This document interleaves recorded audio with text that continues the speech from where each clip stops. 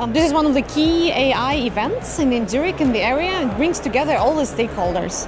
And we have interest in talking to all these people. We can actually exchange with scientists, uh, policymakers and the practitioners from various industries. So, of course, the, the core of the conference is on AI, but you see all the different fields in which this could be applied and also the multidisciplinarity.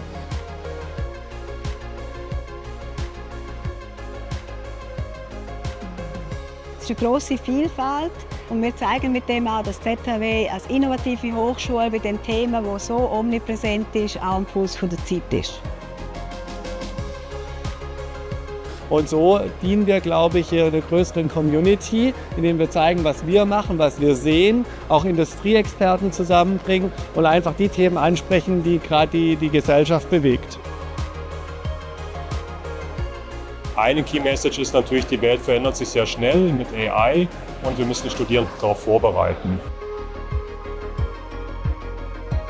the ecosystem, what, what makes this magic happen, where innovation happens, but the innovation is applied to real world problems, and then talent comes, capital comes, and you start to commercialize, to monetize, and that's the magic of the ecosystem.